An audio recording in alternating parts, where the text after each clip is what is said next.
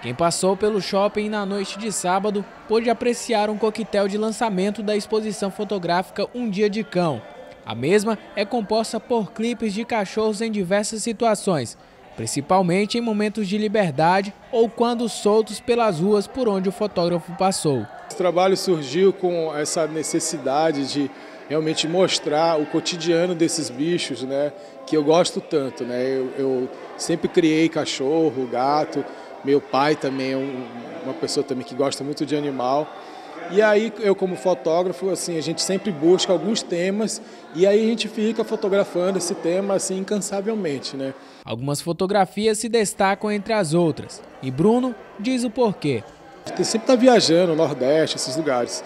E aí toda cena que eu via de cachorro, que eu achava interessante, eu tentava buscar ali o melhor ângulo, o melhor ponto de vista para mostrar, sempre com esse olhar meio artístico, o cotidiano e, o dia a dia dos cachorros para tentar também sensibilizar as pessoas, observar mais esse, esse animal, que é um ser, quase como um ser humano que nem nós, né?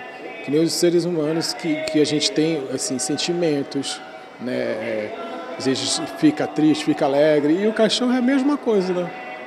Essas duas crianças ficaram encantadas com o trabalho. Eu gostei do Bulldog, eu achei muito bonito e interessante. Eu gostei dessa daqui. O trabalho foi apreciado por todos os públicos. Eu achei bastante interessante é, é, as fotos que foram, que foram tiradas, né? Porque é, foram meio que, que, de surpresas, foram fotos bastante inesperadas, né? Não, não foi nada ensaiado, então, pô, gostei, gostei muito. Para o fotógrafo, realizar mais este trabalho é um motivo de muita satisfação. É bem interessante, assim, porque o público é variado, né? Tem, tem pessoas mais novas, mais velhas, crianças, e, e é muito interessante, assim, porque cada um tem uma reação.